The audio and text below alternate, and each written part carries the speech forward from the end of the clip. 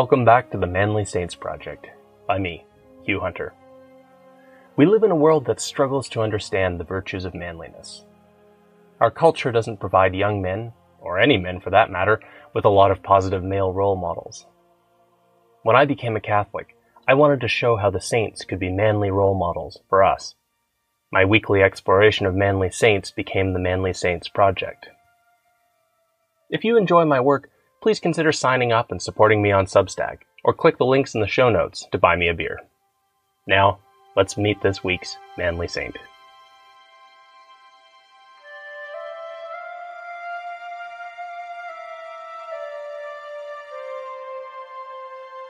Join me today as we encounter a Crusader king.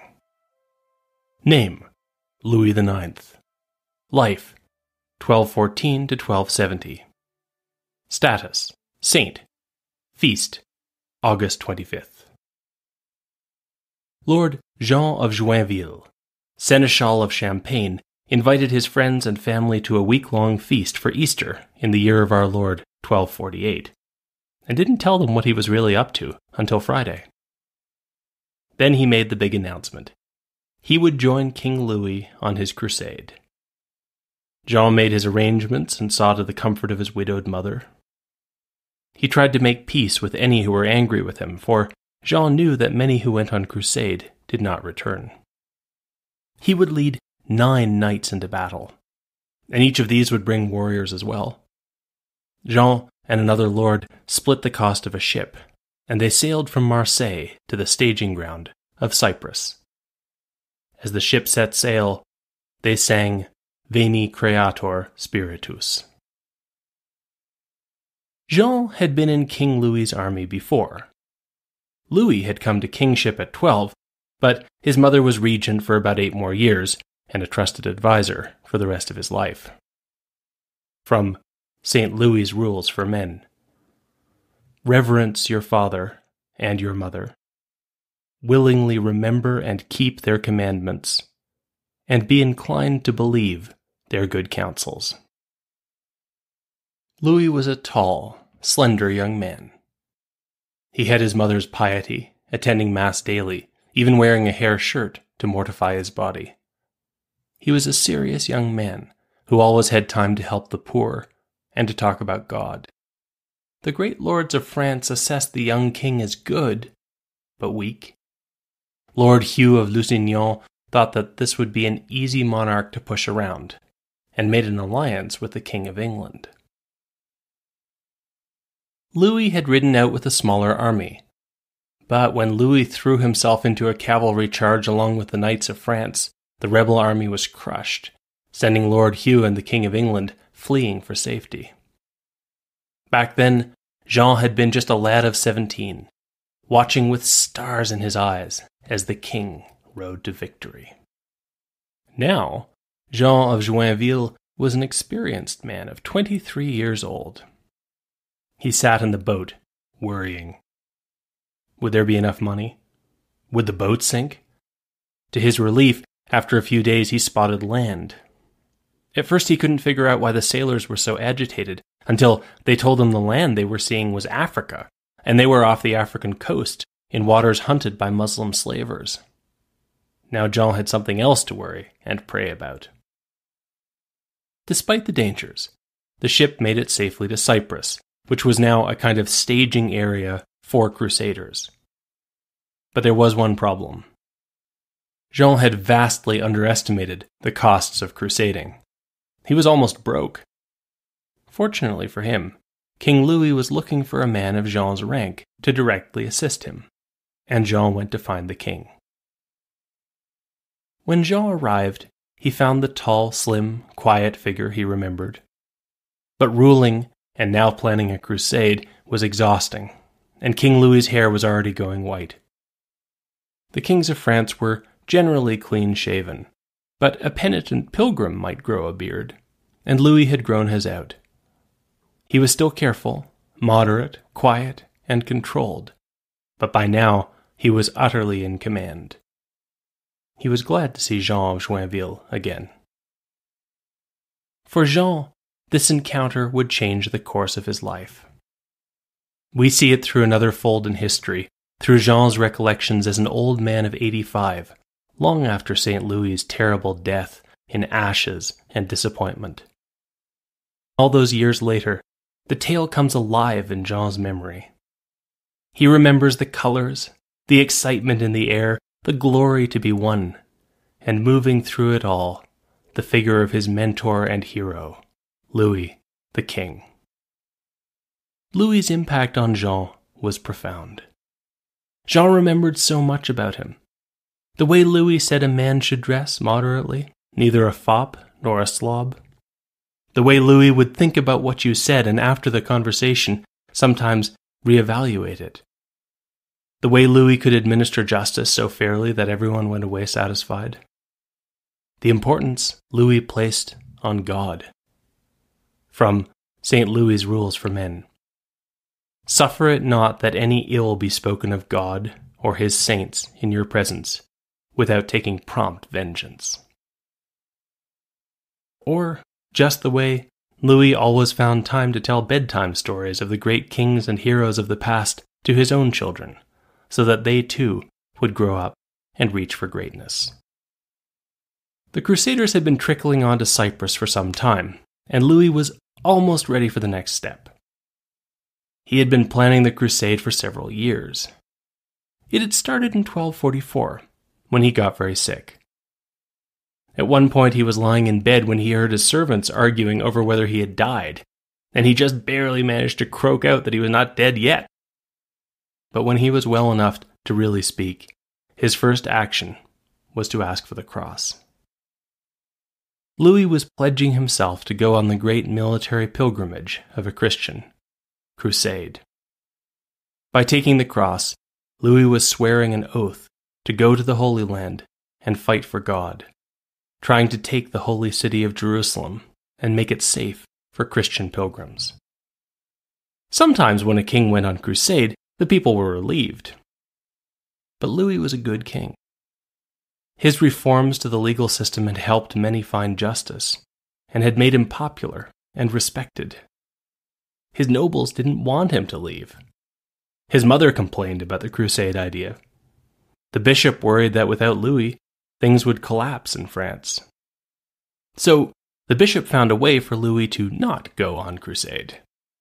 He ruled that Louis was not in full control of his mind when he said he'd go on crusade, effectively releasing him from his oath. Louis listened patiently and accepted the bishop's decision. From St. Louis's Rules for Men. If anyone have entered into a suit against you for any injury or wrong which he may believe you have done to him, be always for him and against yourself in the presence of your counsel, without showing that you think much of your case, until the truth be made known concerning it. The bishop concluded that talk of crusade was all behind them now. Louis had been unwell and hadn't understood what he was saying. Now he was released from the crusading obligation, and things could go on as they were. Louis thanked him. Then Louis asked the bishop whether, in the bishop's estimation, Louis had fully recovered. I imagine an indulgent smile on the lips of the bishop as he said that yes, Louis was surely better now.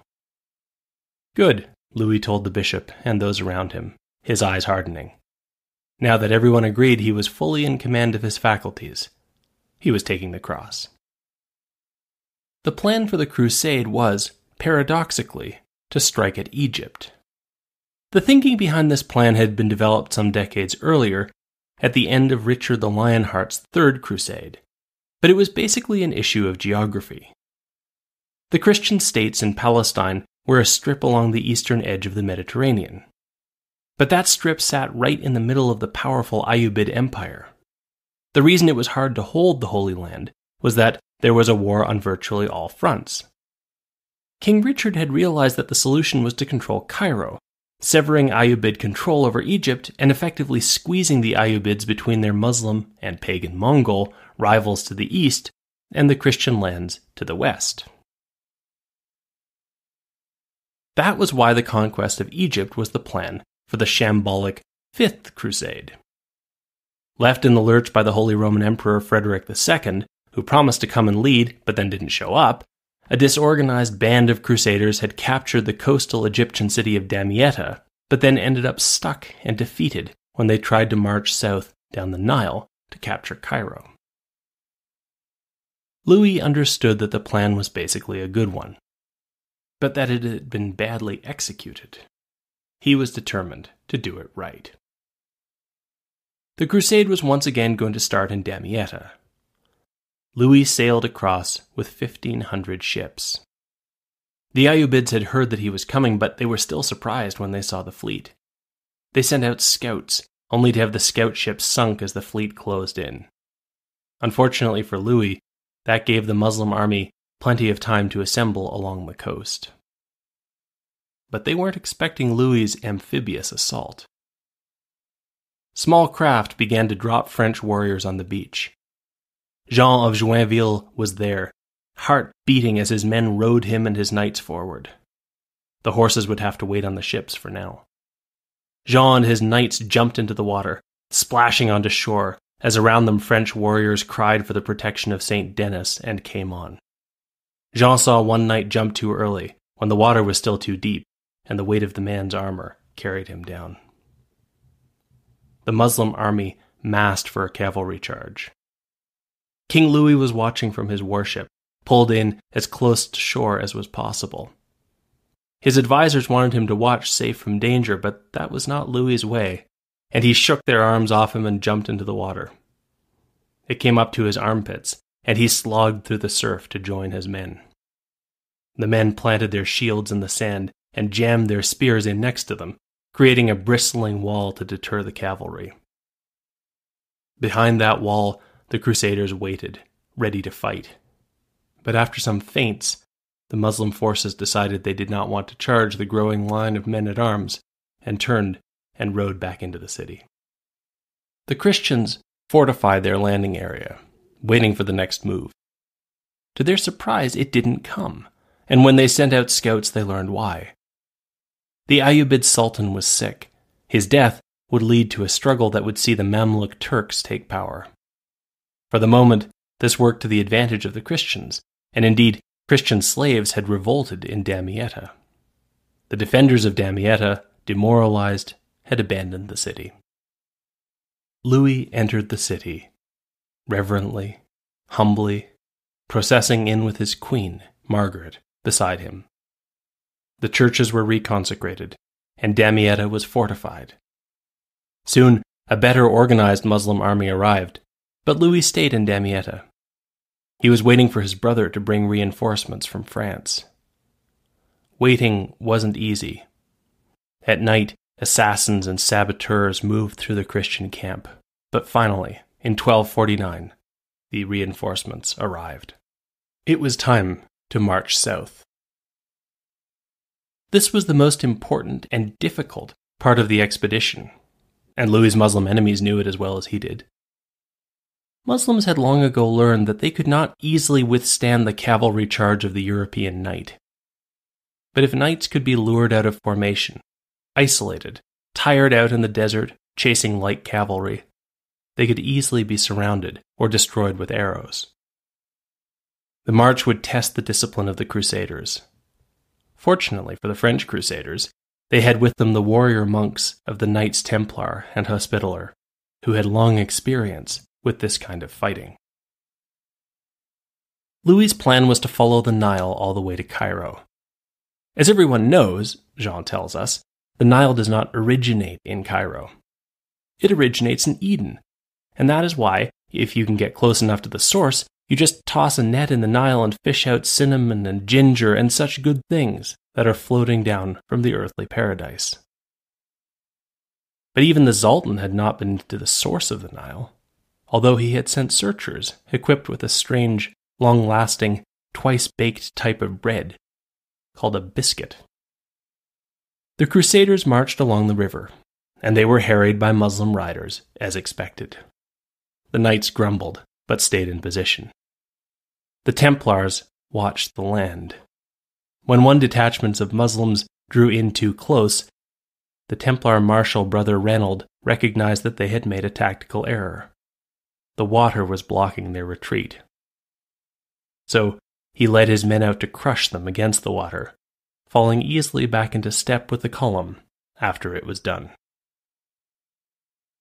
But things began to go wrong as the Christians approached the city of Mansoura. The enemies seemed to be retreating before them, and the Crusaders easily routed them. It was too easy, the Templars realized. They moved forward slowly, cautiously, but the French Crusaders, with Louis's own brother in the lead, charged out ahead. Perhaps the French knights wanted to show the Templars what they could do. Jean of Joinville thought it was a simple miscommunication. The Templar messenger tried to convince one of the French knights in the lead to slow down, but as it happened, this particular knight was almost deaf. Not wanting to spread their forces, the Templars sped up and charged into the city as the Muslim trap closed around them. Unbeknownst to the Crusaders, they had been trapped by one of the best. They had just met the cruel Mamluk general and future Sultan, Baybars, who would prove to be one of Christendom's most implacable enemies. The knights of the crusade fought hard, but they had now sacrificed their tactical advantage. Louis's brother was killed, along with many of the Templars. The elite strike force of the crusade had just been wiped out. Trying to understand the situation, Jean himself was nearly killed, running into enemy forces and pinned down by a Muslim so that he couldn't get at his spear or sword. Fortunately, Jean had a lot of weapons, and was able to wriggle up and grab an extra sword he kept on his horse and fight his way to his feet in a running retreat. He was making a last stand with a group of knights when King Louis arrived and took control of the situation. Never did I see him so finely accoutred, for he towered head and shoulders above his followers, with a gilded helmet on his head and a German sword in his hand. Jean was saved, and he rode at Louis's side as the main body of the army pressed into the Turkish camp. The fighting was over, and the Crusader army hadn't been destroyed. In a sense, they had won, but they had taken terrible losses, and the Muslims still held Mansoura. King Louis was no fool. The best of his army had been destroyed. The king's brother was dead, killed in a foolhardy charge that had sacrificed the best fighting men of the crusade. All Louis had to show for it was the capture of a Muslim camp. As they rode into the camp after this victory, Jean looked over and saw that the king had tears in his eyes. The now much reduced Crusader force had little choice but to try and hold their position. In the camp, food began to run out, and even dogs and cats were consumed. The Crusaders held their position through Lent, and then Easter. Jean was so sick that he lay in bed as a priest said Mass, but the priest was sick too and toppled over in the middle. Jean got out and held the man upright so he could complete the sacrament.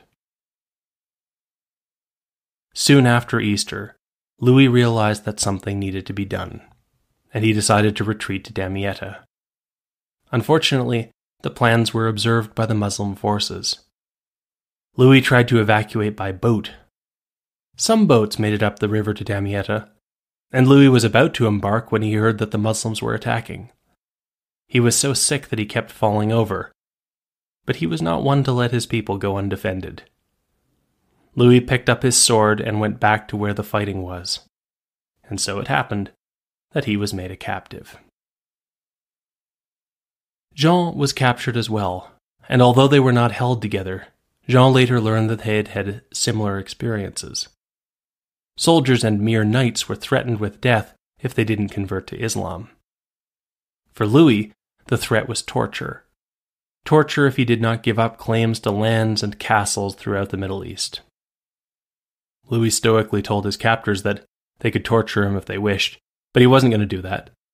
He wasn't going to swear blasphemous oaths either. In fact, even in captivity, Louis insisted on being provided his two chaplains and his daily mass. Finally, an arrangement was reached.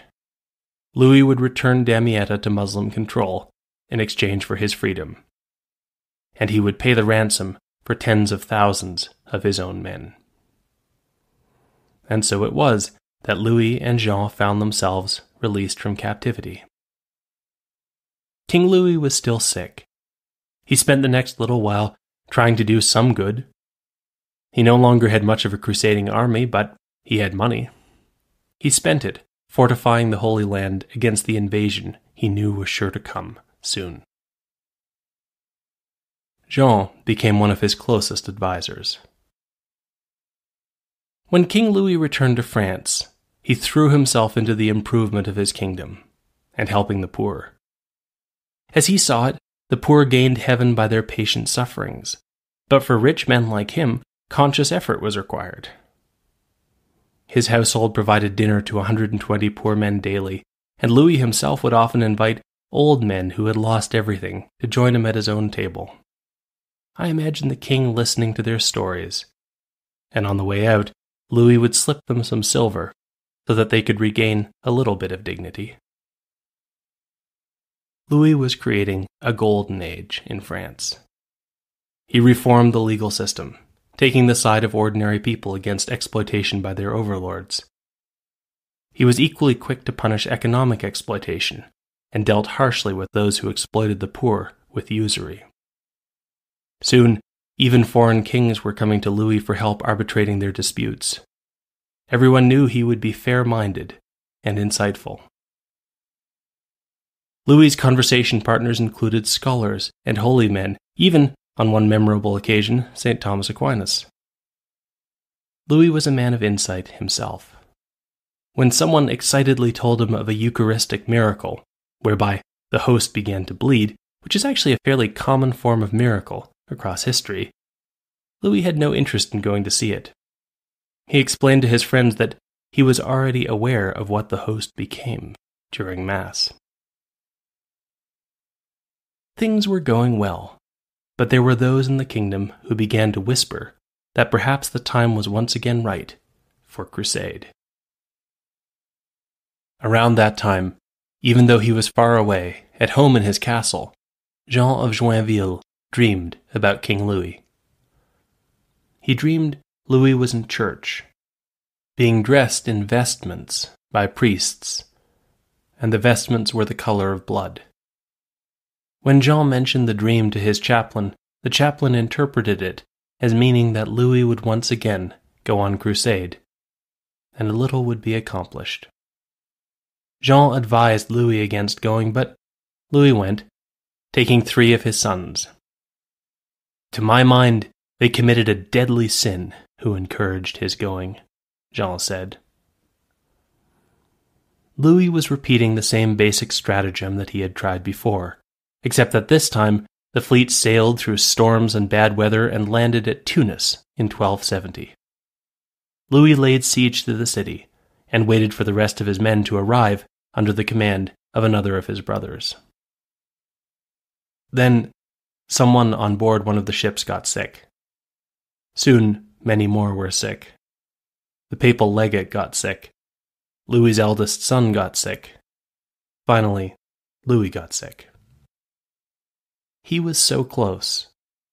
So close to the ambition of generations of Christians. But Louis could feel God closing the door. He called on the saints, especially St. James, a warrior saint, and St. Denis, the patron of France. But the great Crusader king was slipping away.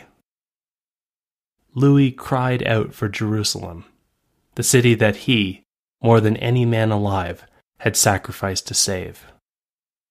And then, accepting the end, he wrote out the list of manly guidance for his son that I've been quoting as St. Louis's Rules for Men. And he followed his own advice. From St. Louis's Rules for Men Fix your whole heart upon God, and love him with all your strength. For without this, no one can be saved or be of any worth. Louis had his men lay out a bed and strew it with ash, and that was where he died on August 25th. By the time his brother arrived with the rest of the troops, Louis was dead, and the Eighth Crusade had failed. One by one, Baybars would capture the last remnants of the Crusader states, until finally, all that was left of Crusade was the dream. Back in France, Jean of Joinville mourned the death of his king and friend. The country mourned. Christendom mourned. Pope Gregory X called Louis a model of blessed living to other rulers, one whom we loved with a pure heart when living, now called back home. Miracles of St. Louis spread over Christendom like late blooming flowers. After he had heard the news, at night, Jean again dreamed of his old friend. In the dream, Louis looked as he always did, but Jean had the sense that the burden of kingship and responsibility had been lifted from his shoulders. This Louis was more joyful, lighter of heart, and Jean understood that he was saying goodbye. But he also understood that his friend who had died was now something more than he had been. He was a saint, a great saint, a manly saint. Jean told Louis in the dream that he was going to build him a chapel, a home at Châtillon. A home? Well, maybe. But St. Louis had already arrived at the home he had always sought. Smiling, St. Louis told his old friend, By my faith, Sieur de Joinville, I am in no such hurry to leave this place.